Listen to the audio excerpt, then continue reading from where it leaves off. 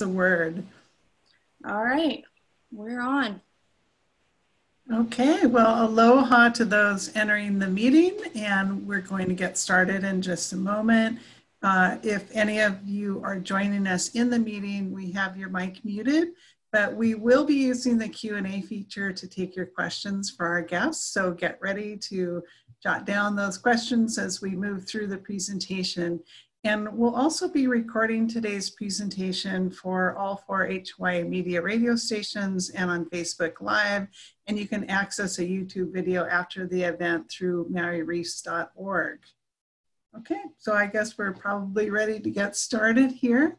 Uh, aloha, everyone. I'm Darla Palmer Ellingson, and today we have another special joint collaboration with Maui Nui Marine Resource Council's Know Your Ocean virtual monthly speaker series and the public affairs show Island Environment 360, a full circle view of Hawaiian culture and environmental issues on Maui, brought to you as a community service of HY Media.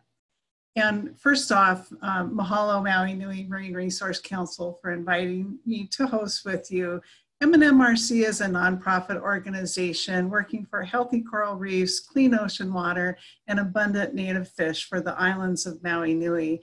And we have Anna Meredith from MNMRC in the background running the show. And we're joined by two special guests, Alan Friedlander and Russell Sparks, who I'll introduce further in just a moment. Uh, today, we're going to be talking about Roi, also known as the peacock uh, grouper, an invasive fish that was introduced to Hawaii in the 1950s. And the idea was they could provide some tasty food for people. Um, an aggressive predator that eats small reef fish, Roi, really flourished, especially when Hawaii residents found out that some of the fish carried sigu- which is a type of food poisoning. And at that point, people pretty much didn't want to eat it anymore. so, um, with the, the alarm over the loss of reef fish and the concerns over the ciguatoxin, um, that it might spread up the food chain, communities throughout the main Hawaiian Islands uh, organized some Roi roundups um, to try and help with the, the issue. So today we're, we're going to talk about some of that. We're going to discuss how much of a problem is Roi and um, maybe and look at some scientific data as well. So our first guest is Alan Friedlander, currently the chief scientist for National Geographic's Pristine Seas Project, where he leads research efforts to understand and conserve the last wild places in the ocean He's also the director of the Fisheries Ecology Research Lab at the University of Hawaii, where his major research areas of interest are coral reef community ecology, fisheries science, marine conservation biology, and traditional marine resource use and management. Wow, that's impressive. also with us today, equally impressive, is Russell Sparks, the aquatic biologist at the Hawaii Department of Land and Natural Resources, Division of Aquatic Resources on Maui. Uh, Russell, you must have to have a really long business card for that, that title. Uh, Russell received his MS in marine biology from the University of Hawaii at Manoa in 1996. He's worked for the DNLR since 1998. And Russell uh, is responsible for leading the design, implementation, and overall management of the Maui Marine Monitoring Program and for working with stakeholders and communities to develop marine management programs aimed at adapting, managing nearshore fisheries and coral reef resources. Welcome, Alan and Russell. Alan, I'm going to turn things over to you first. Uh, can you give us a background on Roi? Sure. Um, I'm going to jump right into this, everybody. Anyway, um, mahalo everyone for attending. It's uh, it's always awkward to do these Zoom things where you can't see everyone, and this is a particularly strange time. But um, I'm happy to talk today. My lab, along with Russell and a lot of other people, have been working on Roi for a long time, and we know a lot about them. And I'm going to share some of that today. So hopefully everybody can see this. Um, this is Roi in its native habitat. This is actually Pitcairn Island um, in the South Pacific. Um, you can see Roi there flourishing with a bunch of other native groupers and, and other fishes. So they do occur naturally and coexist with a lot of other predators and prey species in their native habitats. And maybe for people that are just listening in, um, can you describe what they look like? I know now that I see them, I've seen them. okay, so as Darla mentioned, they're also called the peacock grouper for obvious reasons. Those are the things right in the middle there with the blue spots and the white stripes on them. Um, it's a, you know, it's a grouper um, moderate sized predator on a lot of reefs that are found throughout the Indo-Pacific, ranging from French Polynesia all the way to the coast of West Africa. Mm-hmm.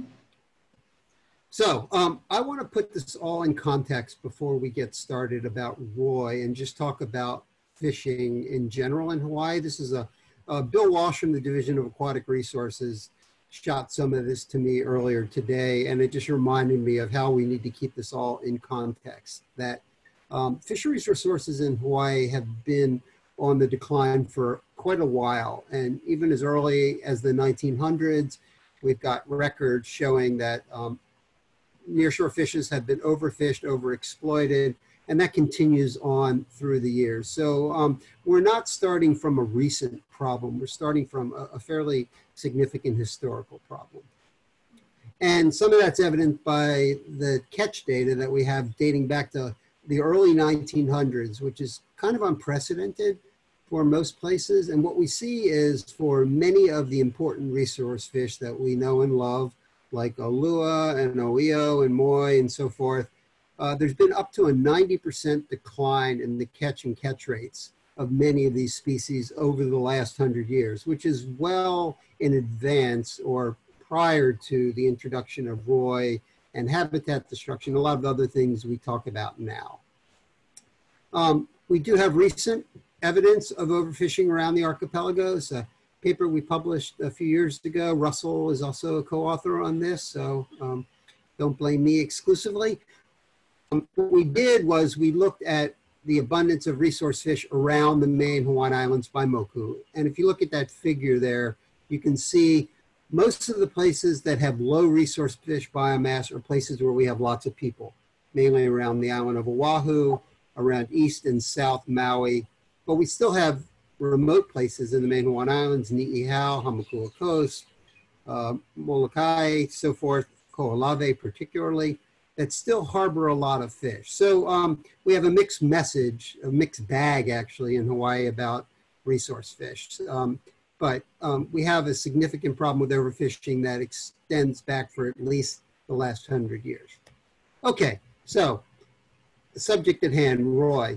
Um, a lot of fish were introduced into Hawaii early on the biggest bolus of fish was probably in the 1950s. Um, this was a time during the Territorial Fish and Wildlife Agency where introducing fish all over the United States and other places was thought to be a good idea. Uh, the Marquesan sardine was brought in mainly for bait fish for the aku fishery, and some other things came in with that um, accidentally. The non-native mullet, non-native flagtail, everybody's familiar with tilapia gold spot herring. But the three main fish that people think about most when they think about successful introductions are Roi, the peacock grouper, uh, brought in from Moorea, French Polynesia, into Oahu and the Big Island in the 50s with a couple thousand introductions. To'au, Lutjanus fulvus, um, also from Moorea, and Lutjanus kasmira ta'ape. You'll notice that the names are the Tahitian names and they stuck with those um, as they were introduced to Hawaii. So these have been the most successful introductions. And Ta'ape by far has been the most successful of the three dominant ones. It extends all the way from the Big Island to Kure Atoll. Uh, Roi, or Cephalopholis uh, argus, goes from Big Island up to about Necker, Mokumanamana, and Lutjanus fulvus, To'au, uh, requires more estuary habitat. It's only found as far as Kauai at present. So we know a lot about Roi. We've been studying this animal for over a decade, and there's been a lot of research into that prior to that. But what we do know about them is they're long-lived and slow growing. They matured in early age. They have a low natural mortality rate. They are ciguatoxic, so they possess fish poisoning. Uh, that makes them un, you know, undesirable, as Darla mentioned. They're found at various depths, all the way down, uh, all the way starting at tide pools down to 130 feet. And they're one of the dominant piscivores or fish eaters that we see on the reef. And I'm going to briefly talk about each of these. So to give this a little more credibility, we actually have data behind this. And what we know from Roi, so fish have ear bones, you can age them like you can age trees. And what we find is that um, the oldest Roi that we see in Hawaii is about 25 years. That's slightly younger than they are found at their maximum age elsewhere, but you can see they grow very rapidly in their first couple years of growth. And then after that, they kind of um, keep plateauing along. They don't gain a lot of length, they, uh, they do, they're fairly long lived, up to 25 years of age. They are ciguatoxic. So, um, but surprisingly, um, we, when we typically think about fish poisoning and other types of poisoning, it, they biomagnify. So what we think the larger animals typically have larger toxins in them or more, they're more toxic. Um, that doesn't seem to be the case in Roi. Of the 291 Roi that were examined from um, Oahu and the Big Island uh, a while back, about 46% of them showed up negative for Ciguatera. Uh, another 36% were marginal, and only 14% were positive, um, 18% uh, positive or strongly positive. So they are not all ciguatoxic, and it's not directly related to the size of the animal as well, which makes that a, kind of an enigma to some degree. So, Alan, uh, are there areas outside of Hawaii where they're not ciguatoxic at all? Right. So um, Ciguatera poisoning is um, it's a naturally occurring toxin, and some places are hotspots, and some places don't have Ciguatera at all. So French Polynesia, for instance, uh, had, is notorious for having Ciguatera poisoning, and Roi is one of the culprits found there, and they're not consumed as much there as other species. Places like Palau has no Ciguatera poisoning at all, and Roi are readily consumed there. How about Moorea, where they came from? The Moorea um, is a hotspot for toxicity, so they probably weren't consumed there as much as huh. other species. Interesting. Yeah, but you would have thought that they would have done their homework a little bit more when they introduced it. But um, anyway, that's it. Um, so, what are the? Um, these are data from Jan Dierking, Bill Walsh, and others who did a pretty intensive uh, diet study, and this is from Hawaii Island. And what we can see is um, they eat mainly small fish. So we're not talking about big adult fish. We're talking about fish uh, 10 to 15 centimeters max that they're consuming. And at the most, actually much smaller in most instances.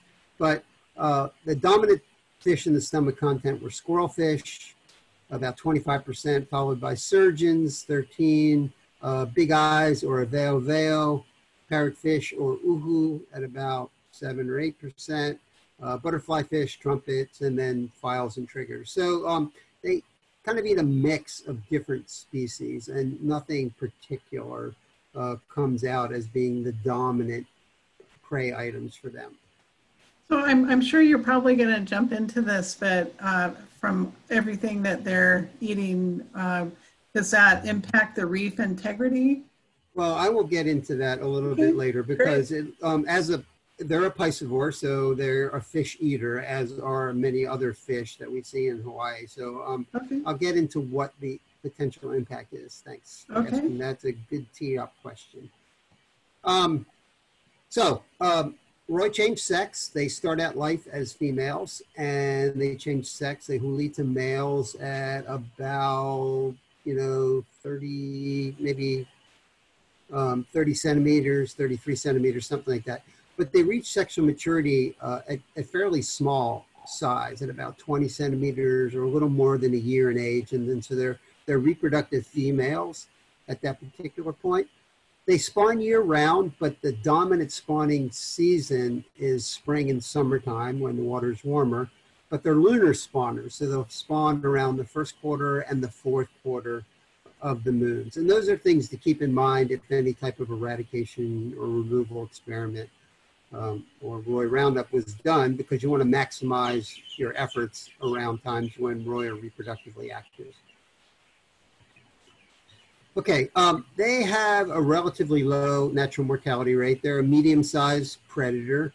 Um, when we looked at age classes and the frequencies that are found in each age class, uh, you can do a little math, and from that you figure out that their mortality rate is about 14% per year, and that's that's relatively low by standards of Mote's reef fish, and um, but pretty typical of this fish, and similar to what we see for their mortality rates in other parts of the world.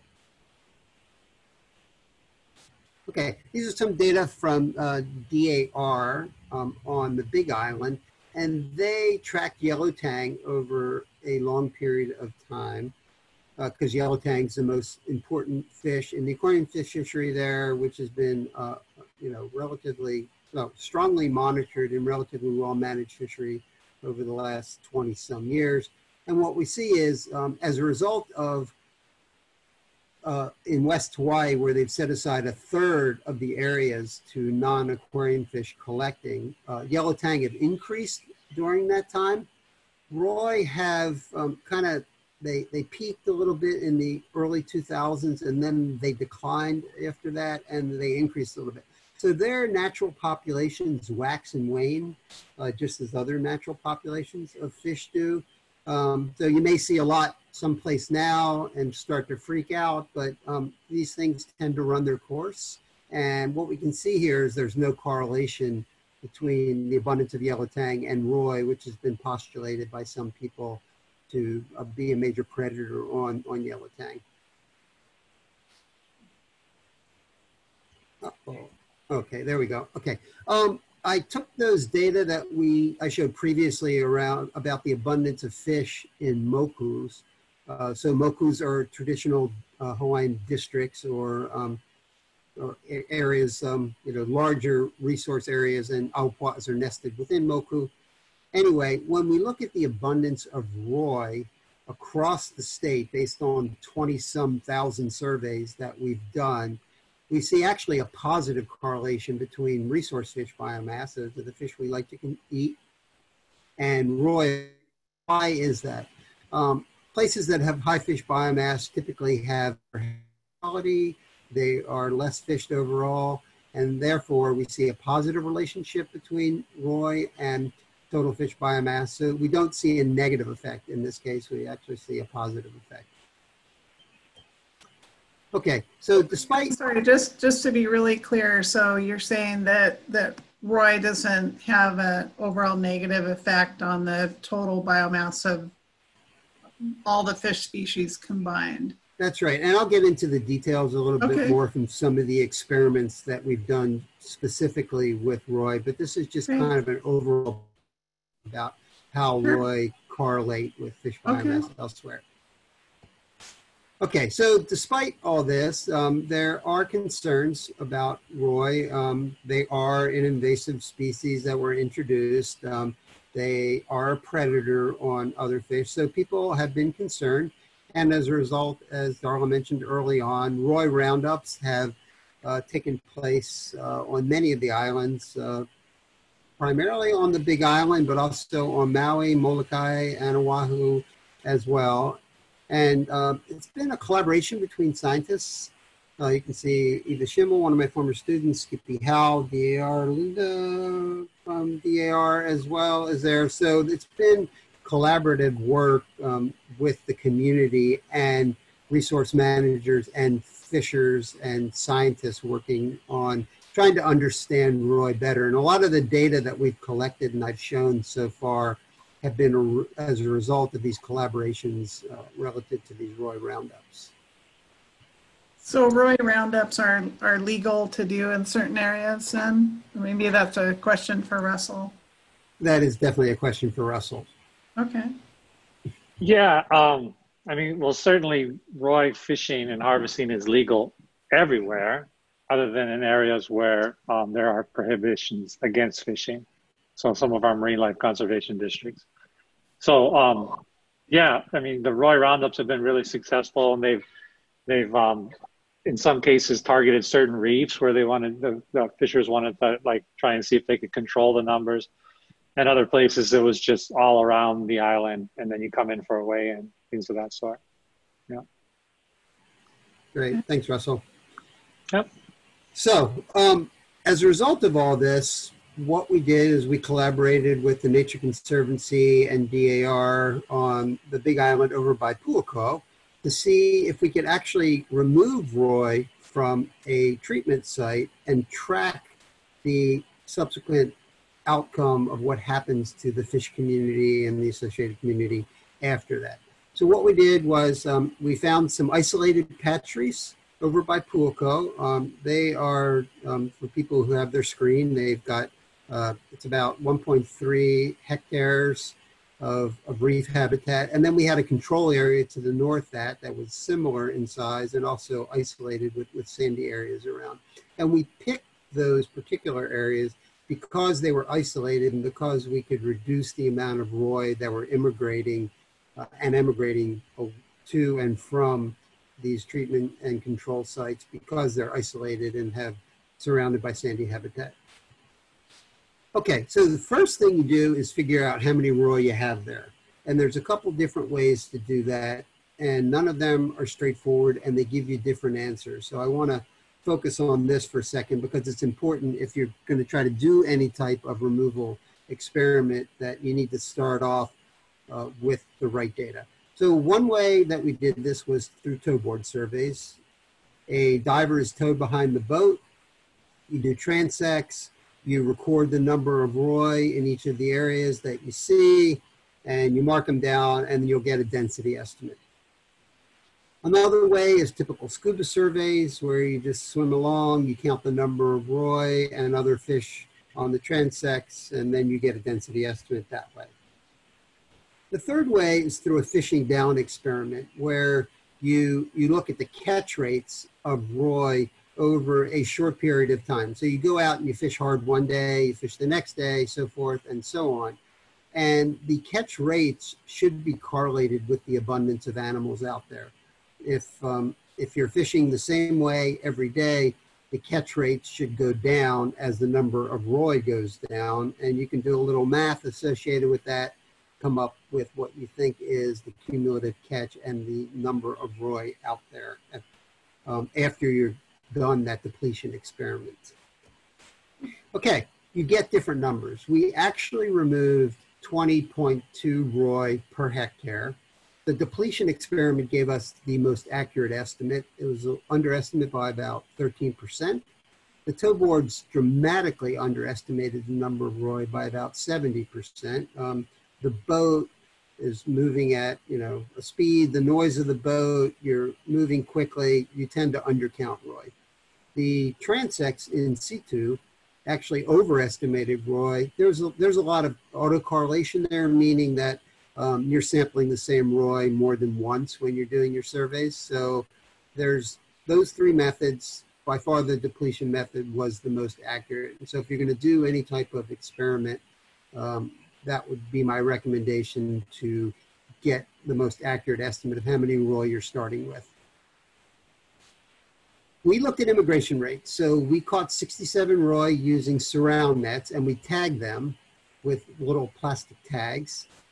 Um, for those people who have their screens there, they're the little red dots. And what we did was we tagged roi up to 250 meters away from the treatment site. So remember, those fish are all removed from that treatment site. Um, and we had a modest amount of immigration into the area, but not, not a ton. A new Roi moved into the area about every six to seven weeks or so, uh, which is not a huge number. And, and, what we found was we could have one diver fishing about every eight to 12 weeks to keep that reef clean of those new immigrants. How much does it cost? Um, depends who you're paying and um, what kind of expertise you want. At Puako, um, the most effective way, but most costly way to do it was to actually have trained scuba divers who were spearfishers, trained boat captain, boat access, all those kind of good things that um, were excessive, but it cost you about $2,300 per hectare to remove roi. Conversely, if you have trained dive, oh, sorry, if you have trained divers and you are fishing from shore, you can do that for about a thousand bucks. Now, obviously, if you've got volunteers, it's much cheaper. It's virtually free, but you get what you pay for. You don't have as much of a controlled experiment. And if you're going to do this properly, you really need to keep track of, you know, who, what, where, when, how, and why. If you're going to get a good estimate of, of what the effects of this thing are going to be. And these are results of five years of roi removal. So um, we had the control, we had the treatment site, and the overall uh, big picture is after five years, there's no effect on juvenile fish. These are fish smaller than 15 centimeters. Um, after the roi were removed for about the first year and a half, we see a slight increase in the amount of small fish in the treatment area that didn't have roi in them but you lose that after that period. And so as you extend off into about year four and year five, there's no significant difference between the control and the treatment site. So we don't see an effect on small fish, and we see even less of an effect on the adult fish. There's, you know, That's fish put out, amazing. Yeah, fish put out a lot of larvae, right? You know, hundreds of thousands of, of keiki get, get put out um, by each individual fish. They do that for a reason because we've got a lot of surplus and most of that dies. And so although Roi consume a lot of these new recruits that um, settle onto the reef, a lot of them die naturally anyway. So we don't see an effect after five years. This was a very rigorous study that um, took a lot of time and energy to do. Interesting. Five years and really no, No. no effect between the control and the treatment area. Yeah, that's that's a big take home from from that study. Uh, you can cut this a lot of different ways, but that's that's really the overall message. But um, these Roi Roundups have been incredibly valuable. They're opportunities for scientists, resource managers, and fishers to collaborate, especially you know in, in areas where people perceive Roi to be a problem.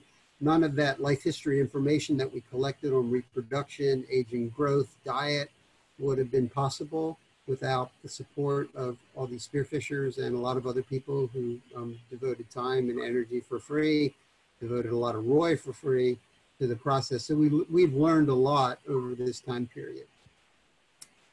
Um, and just to reiterate, um, it shares knowledge, it builds community, and raises awareness for ocean stewardship. So there are some positive outcomes that um, can come out of these Roi roundups that um, that can be very useful in the appropriate place. Mhm. I don't know if I'm going to talk about that. Um, so somebody asked a question about, um, you know, what is what do Roi look like inside Marine Life Conservation District, marine protected areas versus open areas? And Right. what we see is that um, you have more Roi in marine protected areas than you do in their associated open access areas. And, and that's not totally surprising. Um, you have overall abundance and size of fish are bigger in protected areas than in open. And people do kill Roi and people do eat Roi. So, and people do shoot Roi outside of protected areas just because they want to.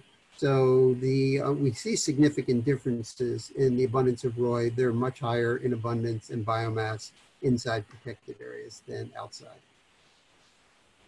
Okay. So to wrap it up, um, we see, you know, we've got historical problems with overfishing in Hawaii, so we have to be very careful about what those root causes are. A lot of people like to, um, you know, point at different things. It's Roi, it's Ta'ape, um, it's pollution, uh, their habitat loss. Uh, a lot of those are true, but the overall thing is not one thing is causing the decline of nearshore fish in Hawaii. Um, in the 1950s, uh, we thought it was a great idea to introduce a lot of fish to Hawaii and elsewhere around the US and around the world. So um, that is water under the bridge at this point, and there's not much we can do about it. But um, I think we just need to recognize how they fit into the marine ecosystem in, in Hawaii. Um, they didn't really become overly abundant until the 90s, and we see their populations kind of waxing and waning in places around the state since that time. And the main thing that we've seen from our study over in Puako was they had a relatively small impact as a reef predator on the overall reef community. Okay. Uh, again, this is another picture of Roi in their native habitat. Um, this is uh, in the southern Line Islands. Um, so they, they do, um, they have kind of antag- antagonistic behavior with one another. But I, I blew through that kind of fast, but I just wanted to give people a flavor for what's going on with Roi. And I'd like to, you know, focus more on what people's questions are because sometimes these things raise more questions than they answer. You know, just since setting up on Roi to, to talk to you, um, I, I think that I've seen them scuba diving following behind eels. Why, does that sound right? And why would they do that?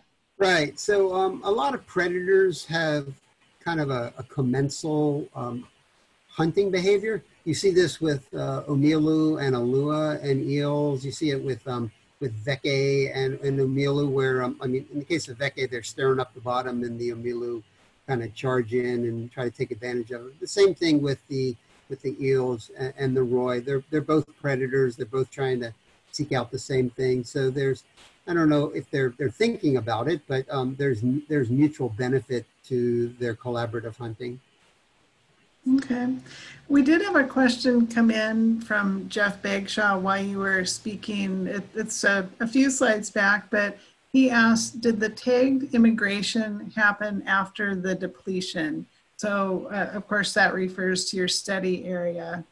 Right. So the point was that after we removed all the Roi from the treatment area, we tagged uh, 67 Roi in the adjacent areas outside of that, and we wanted to see how many were going to immigrate into the area. So yeah, they, they, they were in theory all gone at that point. Okay. And um, Russell, I wanted to ask you, do you, do you know, is there any data, um, do Roi or, or really, you know, other species, do they grow larger in the marine protected areas than outside the marine protected areas? Um, well, I, I, I doubt that they necessarily grow faster. Um, you see large roi in open areas and you see large roi in marine protected areas. Mhm. Um, I think to the effect, to the degree that there's been um, an effect of fishing on roi over the last few years with the roi roundups and with kill roi days and, and concerted efforts from local spearfishers to target them, that the large ones get removed relatively quickly from the open areas. But because that's not happening within the reserves, you still see some of the larger adults there, um, probably in more abundance than you see them in the open areas. But, but um, you know, I think, as Alan mentioned earlier, the association is pretty clear that where there's more fish, there's more roi, and they're all kind of in those areas because they're good habitats. Perhaps there's a lot of productivity in those areas for them to feed on. Um, so, so certainly in areas where there's a lot of fish, you see roi, whether it's in marine reserves or not. And um, the roi tend to be quite large if it's a productive area with a lot of good habitat and a lot of fish. Okay, so we got a question in from Chad Wiggins. Uh, it says, thanks, Dr. Friedlander. Was there evidence of Ciguatera in Hawaii prior to the introduction of the species from elsewhere in the 1950s and 60s? I, there'd been a little bit of Ciguatera research done in Hawaii prior to that. So as I mentioned previously, Ciguatera is a naturally occurring um, bacteria, dino, naked dinoflagellate, but it usually gets stirred up and um, and their populations proliferate in places that are disturbed. So there's probably a correlation between um, increased human population, increased shoreline development, uh, disturbance of habitats in Hawaii, which probably occurred around that same time. uh, you know, in the 50s and 60s and 70s. So it's hard to decouple those from one another. So in other words, um, you know, you you, you dredge up um, Maunalua Bay or you you know you armor shorelines, you introduce pollutants into the environment, and that naturally occurring toxins going to proliferate more and accumulate through the food chain. So in fact, Roi um, is a predator, and so they will get ciguatera. But you know, eels have very likely been ciguatoxic in the past. But I think in general, things tend to be more ciguatoxic now than they were, and they're really and the work that had done on, on Roi that showed the highest concentrations were typically around Oahu and some parts of the Big Island that had more human disturbance. Okay. Um, Catherine Thunholm asks, did he say they are edible in Hawaii? She might she might have come in a little late, but if we could go over that again. Sure. Um, I mean, there are people who definitely go out there and eat Roi. Uh, some people uh, feel that there are certain places that have lower incidence or no incidence of ciguatera than other places, so they, they take the risk. And as I showed, it was only about 18% of the Roi that showed up as ciguatoxic, so it's a bit of a gamble.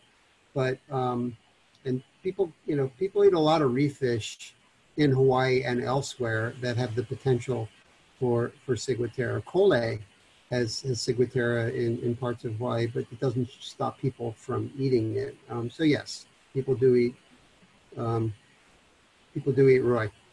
Okay. You know, um, I came across something else in some research. Uh, in your opinion, is it a valid theory that reef fish are more susceptible to Roi because it's introduced as opposed to other predators like Ulua? Okay, I get all these questions instead of Russell, but Russell, feel free to chime in. Um, um, so Jump in, jump in here, Russell. the, the reason that um, Roi and they, they brought in uh, about 20 species of snappers and groupers from the South Pacific. And the reason they did that is because we have very few native snappers and groupers in Hawaii. And that's not of a, because of overfishing. That's just because of isolation and biogeography. Hawaii is just weird. Uh, Hawaii has a lot of species found nowhere else on Earth, but it has a lot of species that are found in a lot of other places that aren't found in Hawaii, and the groupers and snappers fall into that category. So they thought, well, we're going to bring in a bunch of groupers and snappers. Um, most of them did not become established. Only those three, To'au, Ta'ape, and Roi, have really um, had an impact. And so it's, uh, where was I going with this? Um, yeah. Um, I don't know. Lost my train of thought on that one. Where was? Oh yeah, I know. I know what you're saying about um, naivete. Um, so we don't have a lot of uh, bottom predators. Eels were pro- or are probably one of the most abundant uh, bottom predators that we see in the main Hawaiian Islands. So these prey species are, are, weren't totally naive to having those type of predators around. They were naive to Roi, so they may have been more susceptible but based on the data, it doesn't appear that um, it's had a big impact on the populations of them. But yeah, it does make some sense that they this is an unknown predator to them, so they may be uh, more naive. Okay. Hey, Geraldo Farrington wants to look at the graph again of the fish abundance after the Puako removal experiment. He says, I thought the error bars showed a slight significant difference and the trend seemed to increase with time. Okay.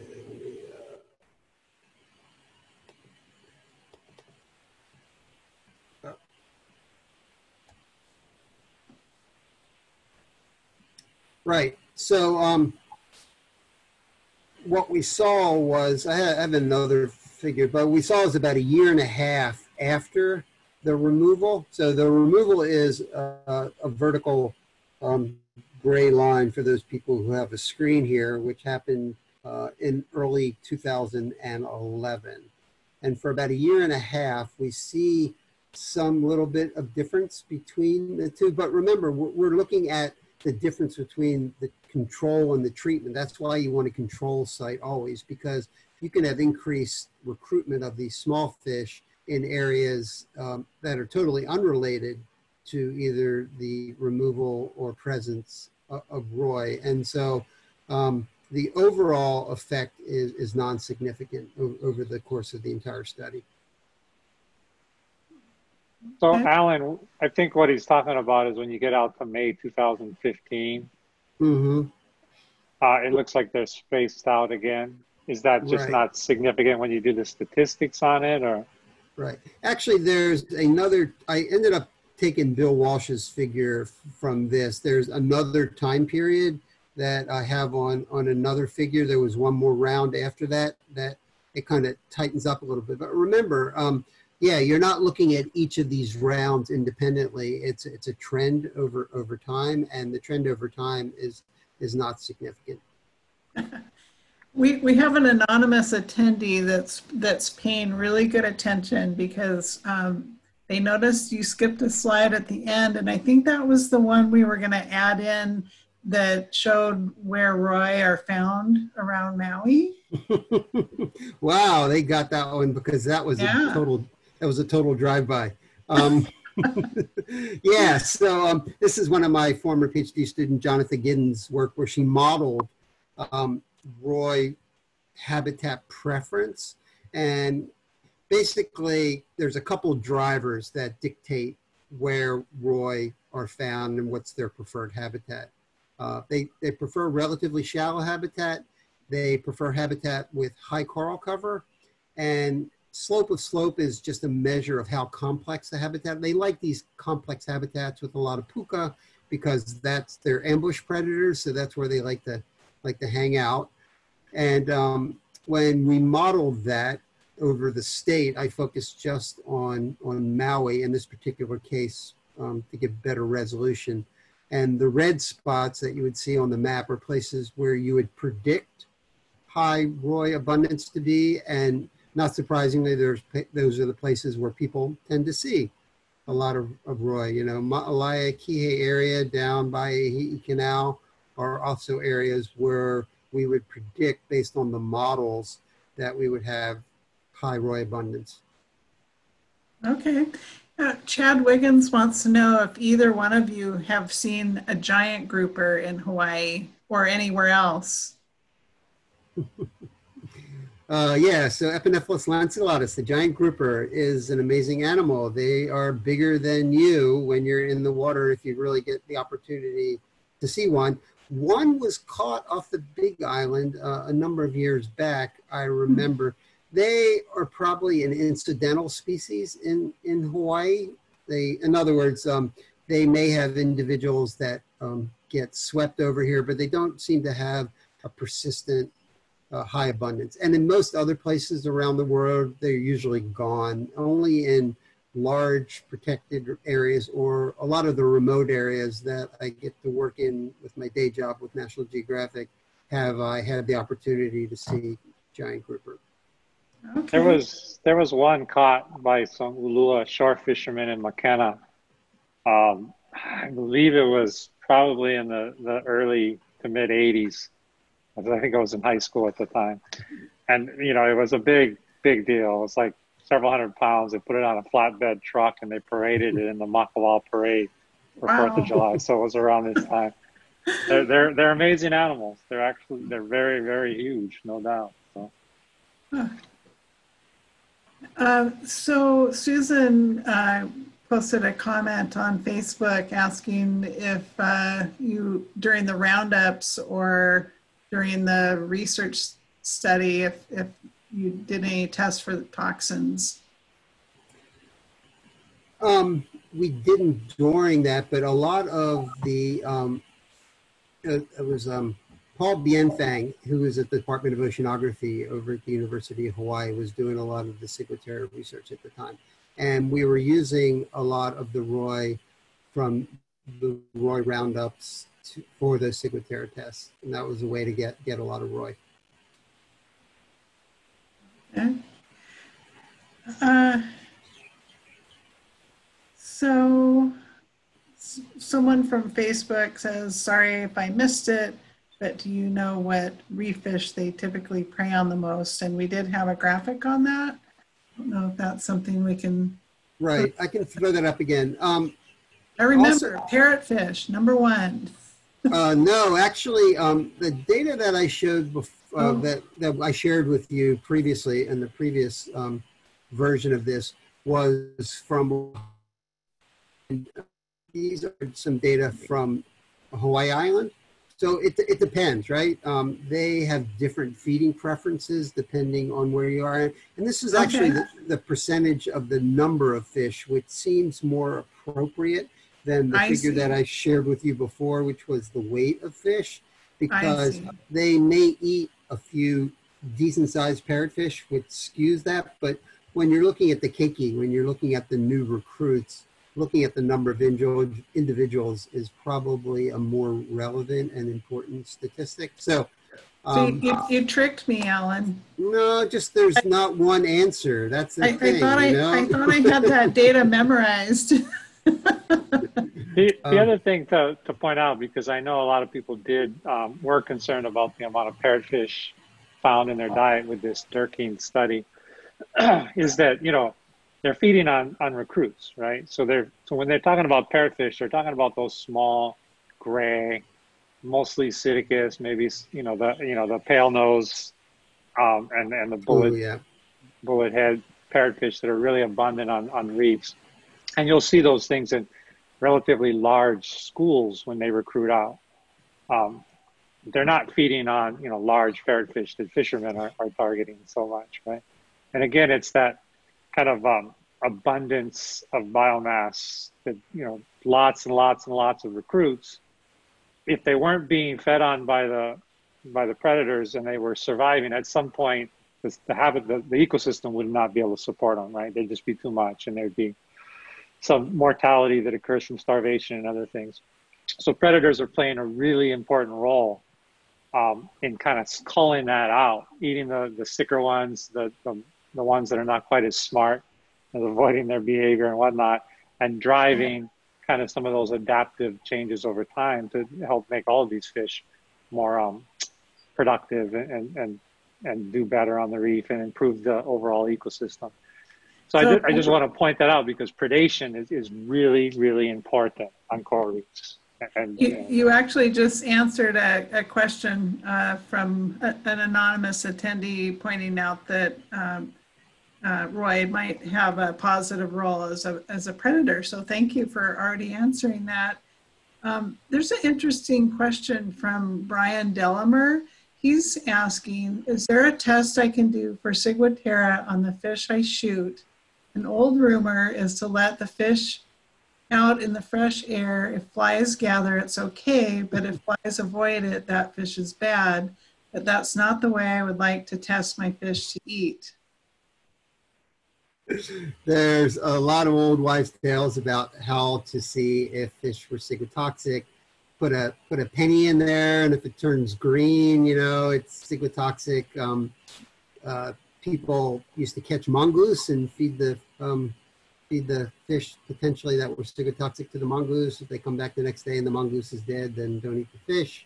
Um, there was a ciguatera test kit that uh, the state was producing. It was a commercial production for a while. It was a little dipstick that went in, and it just it proved to be not very accurate. And I think they discontinued that a while back. Uh, Russell, correct me on that one. The more sophisticated tests that they were doing at the university would be much too cost effective to, I mean, costly to uh, be able to have it practically used by spearfishers. Okay. Um, you know, kind of related to that, if there is an event, um, would you like people from the event to collaborate on testing? Go ahead, I- Russell. I- Talk about the test kits.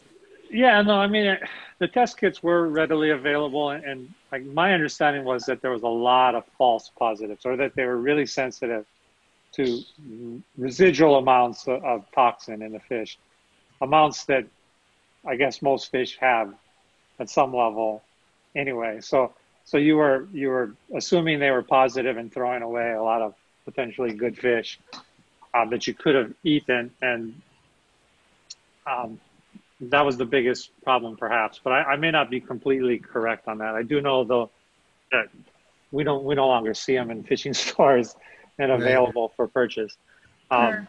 but but yeah, and the you know when when these um, big Roi kill Roi events were going on, we we did um, co- you know collaborate with them, collect fish, collect data, as Alan pointed out, and, and I do believe some of it was donated to the university for them to um, look at and try to extract some of the toxin and, and work and use to to try to come up with better kits and better better diagnostic means of, of looking at ciguatoxin. I, I really apologize. I don't know where that stands right now, but but certainly um, we could look into it if there were going to be big events again, and, and look at whether or not collecting the fish and donating them to the university uh, would be useful for that. Okay. Sounds good. Hey, we've got one last question. Roi are eas, oh, I'm sorry, this is from Geraldo Farrington. Roi are easily noticed, but isn't the biomass of that Taape much greater and perhaps more influential? Um, so another fish that we worked on um, a while back. I did a lot of work up in Kauai on on Ta'ape. The one of the speculations was that um, Ta'ape compete for habitat space. They form daytime resting schools, similar to way Weke do on the reef edge. So there's some potential competition for habitat. Um, they are preying on shrimp and crabs in the sand at night for the most part. Did a lot of swimming around in the sand at night and catching them. Um, but there's a lot of shrimp and crabs out there. I wouldn't worry about depleting the populations of those things. But um, they get caught in the bottom fish fishery, and I'm sure it is um, none too pleasing to the guys who are trying to fish for bottom fish to have Ta'ape steal their bait and, and come up. But the, unlike Roi, Ta'ape is a perfectly good eating fish.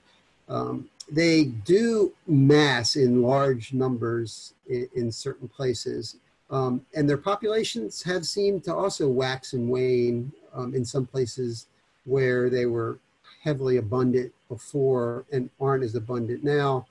But yeah, I mean, they have a lot of biomass, um, but they are totally edible and very good fish. It's just not something that people historically in Hawaii were used to. Uh, if you go to Samoa or places in the South Pacific where ta'ape are common, uh, people love them. Okay, you, you know, we are going to wrap up the questions, but there was one that that came in. Actually, there's a couple of things, and I'm I'm going to answer one of them. But uh, so another anonymous attendee says, "Do you think encouraging Kill Roi events might be giving fishers the wrong impression that Roi are primarily responsible for declines in Hawaii reef fishes?" and not other factors such as habitat loss and overfishing. So I know we, we covered that and the data was showing that, you know, it, it overall really wasn't a negative effect. But in your answer, could you also maybe talk about what, what can we do about habitat loss and, you know, help better protect the reef? I, I might give give Alan a, slight break here and, and, and try to try to take that, Darla. Um, first off, I would say I, I agree with the concern expressed, and, and the department and the division, you know, has a similar concern, um, and that oftentimes people are, are reaching for something that they can do. You know, it's so overwhelming to see fish populations declining and habitats declining and so forth. And you want to do something to contribute to to make it less bad, right? and so a lot of fishermen have kind of glopped onto this this idea of uh, eliminating roi to help enhance fish stocks. And, the reality is that you know it's not likely to make much difference, and that's what the data Alan talked about um, pointed out. And in fact, because of this long history of, of depleting fish numbers and, and having heavy fish pressure having an effect, particularly on a lot of our predators, our natural predators like the omilus, the eels, and the things that are, are you know, hunting uluas and so forth, hunting on that shallow reef. Roi may be pro- providing actually a very critical predation pressure to help, you know, improve the overall ecosystem. We don't know that for a fact. It's really hard to tease all these things apart. Um, but we do know that a lot of these natural predators are, are greatly reduced from what they um, are in areas where fishing is not allowed or in other pristine areas like the Northwestern Hawaiian Islands. And, and there was one thing that I saw that um, Dr. Walsh shared with Alan and I earlier today that was interesting where I looked at the actual uh, percentage of the fish's size that they eat in prey fish over the course of a year. And I think Roi was something like two and a half times the size of it itself. So over the course of an entire year, Roi will eat two and a half times its body mass in other fish. Whereas Omilu was like 10 times higher. You remember, Alan, what it was? Yeah, it was about it was about more than 10 times higher the amount of prey that Omilu consumed relative to right. Roi.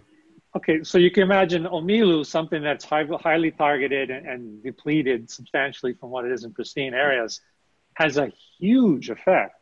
Um, and if there's more of them around, like there would be when, if there wasn't a lot of fishing pressure over the years, that's substantial in, in kind of you know driving predation pressure and, and the ecosystem. And so without having that, having more things like Roi around could be really important. And again, I say could because it's just it, you know we don't know all of these little intricacies um, for certainty, but that does provide caution from a resource management point of view, right? And so that's why um, we don't discourage people from going out and hunting them.